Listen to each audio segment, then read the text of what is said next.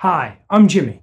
In this video, we're looking at the top three dividend paying MLPs. MLP is short for Master Limited Partnership.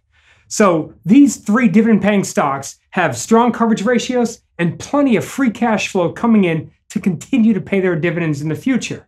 And then at the end of the video, I actually got two bonus MLP dividend paying stocks that are quite good. I expect their dividends to be fairly consistent. They just weren't quite solid enough to make the top three list.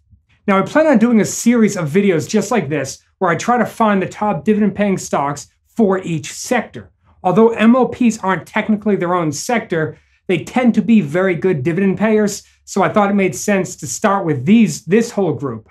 So if you have a preference for, our, for which sector we might do next, please let me know in the comments below. And if you're curious to learn more about MLPs, please, again, in the comments, because I've put together a few primers on closed end funds or REITs. I've been considering doing an MLP primer. If that's something you'd be interested in knowing about, let me know. Basically, what we need to know for this, this video is master limited partnerships tend to focus on the oil and gas market. They're usually involved in the shipping and delivery of both oil and gas. And generally, they have great dividends because they don't have to pay corporate income tax as long as they pass through their profits to the shareholders. Okay, let's kick off our top three MLP list with the smallest company on our list, and that's Magellan Midstream Partners, ticker symbol MMP. So, MMP has a dividend yield of about 6%, with the current price of about $66 per share, and they have a dividend of almost $4 when we look at their dividends over the past four quarters. This is a chart of Magellan's dividend history, and as we could see, they have steadily increased their dividend every year, and analyst estimates, those are the one in the green bars, well, they're, ex- they're expecting for these dividends to continue to increase in the coming years. Okay, so what does Magellan do? Well, they own a lot of pipelines, and they're in the early stages of building another pipeline down in Texas, and they expect for this to be a good cash flow generator for them over the long run. Now, one of the reasons I picked each of these three MLPs on our list is that they have fairly low exposure to oil and gas prices. Instead, the majority of their revenue is generated from fees for shipping. Not all of it, but compared to the rest of the industry, most of it is. Now, Magellan is well positioned to bring in good amounts of cash flow with their current pipelines, and this should ultimately lead to them being able to continue to increase their dividends at the end of the day, free cash flow for these companies are the most important things. And since they're getting paid to ship it in a very active market down near Texas, well, I would expect for their profits to stay fairly consistent. Okay, on to our next dividend paying stock. This is Enterprise Product Partners, ticker symbol EPD. So, EPD is one of the largest MLPs out there. And I like them. They're one of my favorite MLPs because they control a ton of key assets. So their assets, what they control, are crucial for their customers' businesses.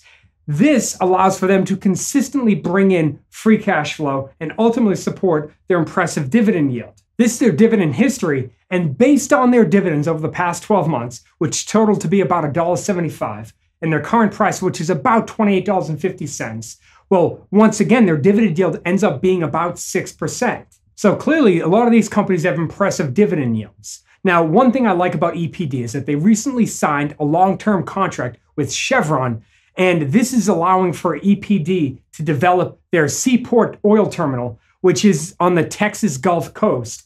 And this is likely to take a few years to build, but knowing that they have a long term contract with Chevron makes it a lot easier to commit the one or two billion dollars it's going to cost them to build it, it's much easier to do that when you know you have waiting customers. I would expect for the 6% dividend yield to remain reliable and likely continue to increase going into 2020 and beyond. Okay, now we jump over to our final MLP, and then we're going to look quickly at the two bonus MLPs that we have after that. Next up, we have the TC Energy Corp, ticker symbol TRP. And as is true with the other two MLPs, the dividends for TRP have been very consistent and projections have them moving even higher over the next couple of years. So, as we can imagine, these are one of the main reasons that I wanted these three companies on this list. I believe these are three of the most reliable dividend payers out there. Now, yes, TC Energy has done a good job of increasing their dividends, and based on their dividends over the past year, well, their dividend yield is currently more than 5.5%. So, another great dividend stock.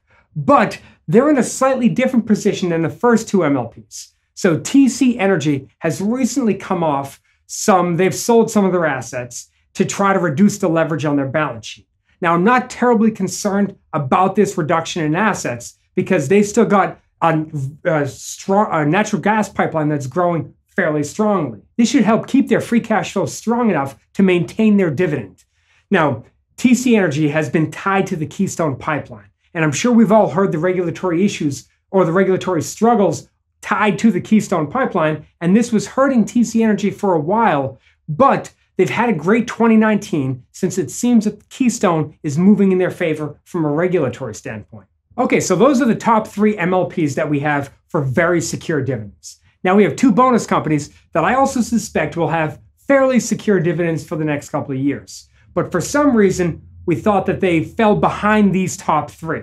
So the first company is Kinder Morgan, ticker symbol KMI. Now, just like the other MLPs, I expect for Kinder Morgan to do quite well since they're well positioned in the midstream market. So why did I keep them off the top three list? Well, this is a chart of their dividend history going back the past few years. And as we could see, they're not nearly as stable as the companies we ultimately went with. Now, I do believe that they will continue to grow their dividends. Analyst expectations seem to believe the same thing, but they weren't quite good enough to make the top three list. Kinder Morgan currently has a dividend yield of about 4.5%. Okay, on to our next company. That's Plains All American, ticker symbol PAA. So, PAA recently went through a restructuring over the past few years, and they cut their distributions quite a few times.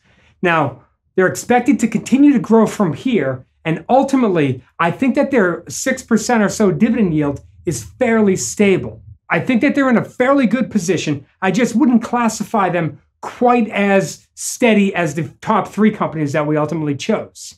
So, what do you like? Do you like the top three uh, MLPs that we ultimately decided to go with? Do you like the bonus companies? Do you have a different MLP that you would prefer to hold for the long haul? Let me know what you think in the comments below. If you haven't done so yet, please hit the subscribe button. Thank you so much for sticking with me all the way to the end of the video, and I'll see you in the next video. Thanks.